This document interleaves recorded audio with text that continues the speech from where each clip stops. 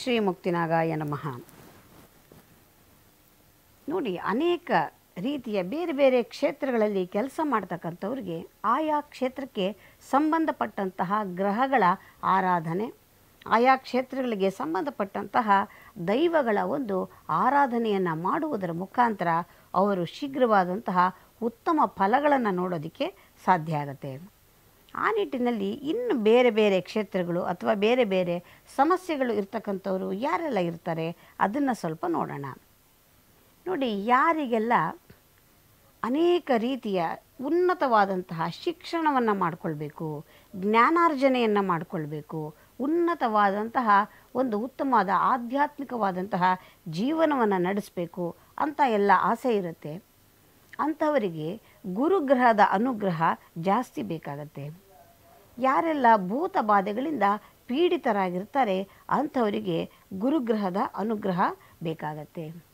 ಯಾರೆಲ್ಲ ನ್ಯಾಯಾಲಯದಲ್ಲಿ ಕೆಲಸವನ್ನು ಮಾಡ್ತಕ್ಕಂಥವ್ರು ಅಥವಾ ನ್ಯಾಯಾಧೀಶರು ಅಥವಾ ಯಾವುದೇ ರೀತಿಯ ಒಂದು ಹಿರಿಯ ಸ್ಥಾನದಲ್ಲಿ ನಿಂತು ಒಂದು ಸಮಾಧಾನವನ್ನು ಕೊಡ್ತಕ್ಕಂಥದ್ದು ಅವರಿಗೆ ಪರಿಹಾರವನ್ನು ಹೇಳುವಂಥವರು ಇಂತಹವರು ಅಥವಾ ಜ್ಯೋತಿಷ್ಯರು ಇರಬಹುದು ಅಥವಾ ವೈದ್ಯಕೀಯ ವೃತ್ತಿಯಲ್ಲಿ ಕೆಲಸವನ್ನು ಮಾಡ್ತಕ್ಕಂಥವ್ರು ಇರಬಹುದು ಅಥವಾ ಉಪನ್ಯಾಸಕರಿರಬಹುದು.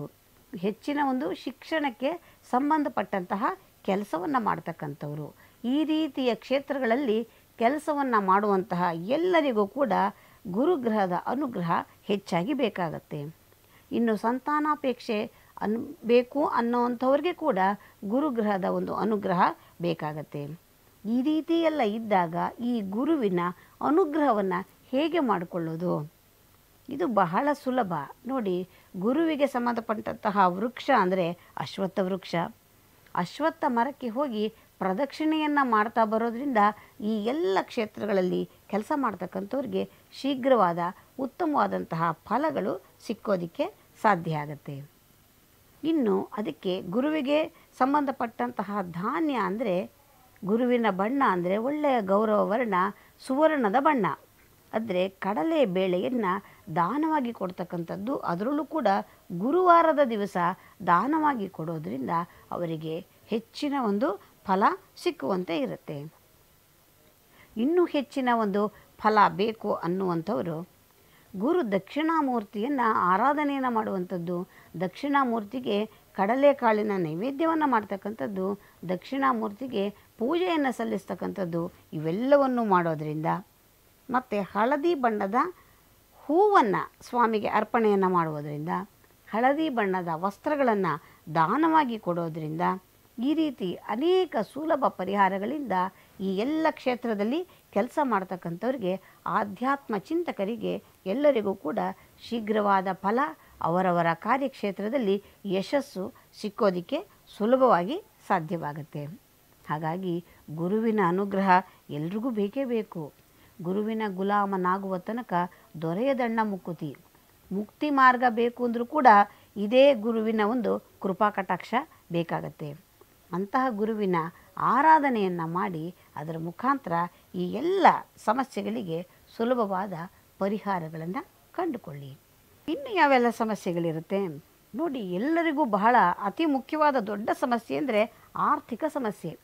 ಈ ಆರ್ಥಿಕ ಸಮಸ್ಯೆಯನ್ನು ನಿವಾರಣೆಯನ್ನು ಮಾಡಿಕೊಳ್ಳುವ ನಿಟ್ಟಿನಲ್ಲಿ ಲಕ್ಷ್ಮೀ ಕಟಾಕ್ಷಕ್ಕಾಗಿ ಅಥವಾ ಸ್ತ್ರೀ ಸೌಖ್ಯಕ್ಕಾಗಿ ಅಥವಾ ದಾಂಪತ್ಯ ಜೀವನದಲ್ಲಿ ಬರತಕ್ಕಂತಹ ಅನೇಕ ಸಮಸ್ಯೆಗಳಿರಬಹುದು. ಅಂತಹ ಸಮಸ್ಯೆಗಳಿಗಾಗಿ ಅಥವಾ ಪುರುಷರ ಒಂದು ಸೌಖ್ಯಕ್ಕಾಗಿ ಈ ರೀತಿ ಕೌಟುಂಬಿಕವಾದಂತಹ ಸಮಸ್ಯೆಗಳಿರಲಿ, ಮನೆಯಲ್ಲಿ ಎಲ್ಲರೂ ಕೂಡ ನಗ್ನಗ್ತಾ ಚೆನ್ನಾಗಿರಬೇಕು. ಈ ಎಲ್ಲವೂ ಕೂಡ ಕುಟುಂಬಕ್ಕೆ ಸಂಬಂಧಪಟ್ಟಿದ್ದು, ಲಕ್ಷ್ಮೀ ಕಟಾಕ್ಷಕ್ಕೆ, ಆರ್ಥಿಕ ಸಮಸ್ಯೆಗೆ ಇವೆಲ್ಲಕ್ಕೂ ಕೂಡ ಶುಕ್ರವಾರದ ದಿವಸ ಮಾಡ್ತಕ್ಕಂತಹ ಉಪಾಸನೆ ಅಥವಾ ಆರಾಧನೆಯಿಂದ ಈ ಸಮಸ್ಯೆಗಳಿಂದ ಸುಲಭವಾಗಿ ಹೊರಕ್ಕೆ ಬರೋದಕ್ಕೆ ಸಾಧ್ಯ ಆಗುತ್ತೆ. ಹಾಗಾದರೆ ಏನು ಮಾಡಬೇಕು? ಸುಲಭ? ನೋಡಿ ಇದಕ್ಕೆ ಬಿಳಿ ಬಣ್ಣದ ವಸ್ತ್ರವನ್ನು ದಾನವಾಗಿ ಕೊಡುವಂಥದ್ದು, ಬಿಳಿ ಬಣ್ಣದ ಧಾನ್ಯಗಳನ್ನು ದಾನವಾಗಿ ಕೊಡ್ತಕ್ಕಂಥದ್ದು, ಅವರೇ ಕಾಳನ್ನು ದಾನವಾಗಿ ಕೊಡುವಂಥದ್ದು, ಇವೆಲ್ಲವೂ ಕೂಡ ಶುಕ್ರವಾರದ ದಿವಸವೇ ಮಾಡಬೇಕು. ಅದರ ಜೊತೆಗೆ ಈ ಒಂದು ಲಕ್ಷ್ಮೀ ಕಟಾಕ್ಷಕ್ಕೆ ಔದುಂಬರ ವೃಕ್ಷಕ್ಕೆ.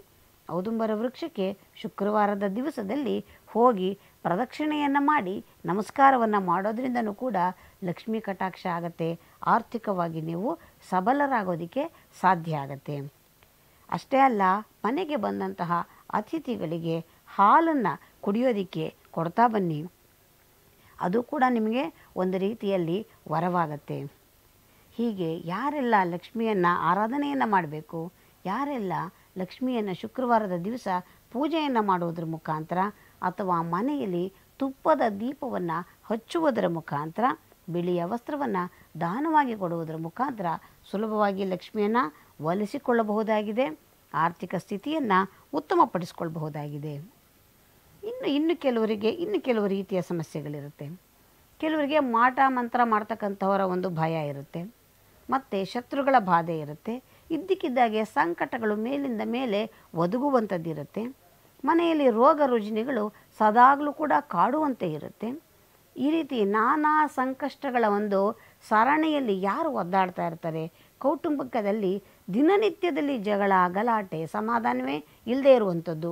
ಈ ರೀತಿಯೆಲ್ಲ ಇದ್ದಾಗ ಅವರು ಏನು ಮಾಡಬೇಕು ಅಂದರೆ ಶನಿವಾರದ ದಿವಸವನ್ನು ಆಯ್ಕೆ ಮಾಡಿಕೊಂಡು, ಶನಿವಾರದ ದಿವಸ ಆಂಜನೇಯ ಸ್ವಾಮಿಯನ್ನು ಆರಾಧನೆಯನ್ನು ಮಾಡ್ತಕ್ಕಂಥದ್ದು, ಶನಿದೇವರ ಒಂದು ಉಪಾಸನೆಯನ್ನು ಮಾಡುವಂಥದ್ದು, ಕಪ್ಪು ಬಣ್ಣದ ಎಳ್ಳುಗಳನ್ನು ಹೆಚ್ಚ ಹೆಚ್ಚಾಗಿ ದಾನವಾಗಿ ಕೊಡ್ತಕ್ಕಂಥದ್ದು.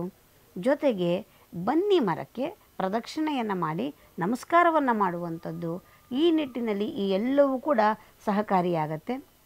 ಯಾರೆಲ್ಲ ತುಂಬ ಕಷ್ಟಪಟ್ಟು ಕೆಲಸ ಮಾಡ್ತಕ್ಕಂಥವ್ರು, ಕೂಲಿ ಕೆಲಸವನ್ನು ಮಾಡ್ತಕ್ಕಂಥವ್ರು ಕಾರ್ಮಿಕ ವರ್ಗದವರು ಶ್ರಮವನ್ನು ವಹಿಸಿ ಮಾಡುವಂತಹ ಕೆಲಸವನ್ನು ಯಾರೆಲ್ಲ ಮಾಡ್ತಾರೆ, ಅವರು ಶನಿವಾರವನ್ನು ಆಯ್ಕೆ ಮಾಡಿಕೊಂಡು ಆ ದಿವಸದಲ್ಲಿ ಮಾಡುವಂತಹ ಉಪಾಸನೆ ಅವರಿಗೆ ಶೀಘ್ರವಾಗಿ ಫಲಗಳನ್ನು ಕೊಡುವಂಥದ್ದಿರುತ್ತೆ. ಹಾಗಾಗಿ ಈ ಶನಿವಾರದ ದಿವಸ ಕಪ್ಪು ಬಣ್ಣದ ಬಟ್ಟೆಯನ್ನು ದಾನವಾಗಿ ಕೊಡುವಂಥದ್ದು ಎಳ್ಳೆಣ್ಣೆಯನ್ನು ದಾನವಾಗಿ ಕೊಡ್ತಕ್ಕಂಥದ್ದು, ಎಳ್ಳೆಣ್ಣೆಯಲ್ಲಿ ದೀಪವನ್ನು ಹಚ್ಚುವಂಥದ್ದು, ಎಳ್ಳೆಣ್ಣೆಯನ್ನು ಹಚ್ಚಿಕೊಂಡು ಸ್ನಾನವನ್ನು ಮಾಡುವಂಥದ್ದು, ಇವೆಲ್ಲವೂ ಕೂಡ ಸೂಕ್ತವಾದಂತಹ ಪರಿಹಾರ ಮಾರ್ಗಗಳಾಗಿರುತ್ತೆ. ಕಪ್ಪು ಬಣ್ಣದ ಹಸುವಿಗೆ ಒಂದು ಗೋಗ್ರಾಸವನ್ನು ಕೊಡುವಂಥದ್ದು, ಅದು ಕೂಡ ಶೀಘ್ರವಾದ ಫಲವನ್ನು ಕೊಡುವಂಥದ್ದಿರುತ್ತೆ. ಎಷ್ಟೊಂದು ಸಮಸ್ಯೆಗಳಿರುತ್ತೆ ಒಬ್ಬ ವ್ಯಕ್ತಿಗೆ ಅಂದರೆ, ಆದರೆ ಆಯಾ ಸಮಸ್ಯೆಗಳಿಗೆ ಸೂಕ್ತವಾದಂತಹ ಪರಿಹಾರಗಳನ್ನು ಆಯಾ ವಾರಗಳಲ್ಲಿಯೇ ಮಾಡೋದರಿಂದ ಶೀಘ್ರವಾದಂತಹ ಫಲಗಳು ಸಿಕ್ಕತ್ತೆ. ಇದನ್ನೆಲ್ಲ ಸರಿಯಾಗಿ ಅರ್ಥ ಮಾಡಿಕೊಳ್ಳಿ. ನಿಮ್ಮ ನಿಮ್ಮ ಸಮಸ್ಯೆಗಳಿಗೆ ತಕ್ಕನಾದಂತಹ ಪರಿಹಾರಗಳನ್ನು ಮಾಡಿಕೊಳ್ಳಿ. ಅದರಿಂದ ಸಂಪೂರ್ಣವಾದಂತಹ ಯಶಸ್ಸನ್ನು ಕಾಣೋದಕ್ಕೆ ಸಾಧ್ಯ ಆಗುತ್ತೆ. ಡಾಕ್ಟರ್ ಗೌರಿಯಮ್ಮ ಚಾನಲ್ಗೆ ಸಬ್ಸ್ಕ್ರೈಬ್ ಆಗಿ ಪಕ್ಕದಲ್ಲಿರೋ ಬೆಲ್ ಐಕಾನ್ ಅನ್ನ ಪ್ರೆಸ್ ಮಾಡಿ. ನಿಮಗೆ ನೋಟಿಫಿಕೇಶನ್ ಬರುತ್ತೆ. ಮುಂದೆ ಬರುವ ನಮ್ಮ ಎಲ್ಲಾ ವಿಡಿಯೋಸ್ಗಳನ್ನ ಮೊದಲೇ ನೋಡಬಹುದು ಫೇಸ್ಬುಕ್ನಲ್ಲಿ ಡಾಕ್ಟರ್ ಗೌರಿ ಸುಬ್ರಹ್ಮಣ್ಯ ಅನ್ನೋ ಪೇಜ್ ಲೈಕ್ ಮಾಡಿ ಫಾಲೋ ಮಾಡಿ.